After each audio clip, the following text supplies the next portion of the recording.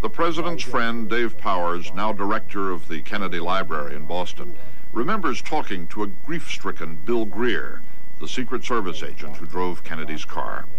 What if, what if they'd sped out of Dealey Plaza after the first shots, but before the fatal one?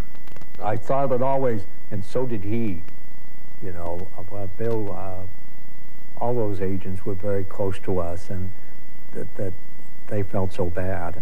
If the driver of the president's car had stepped on the gas after the first two shots, Yes, what that president would be alive today, and he'd be 71 years old, and he'd be the director here, and and I'd be the assistant.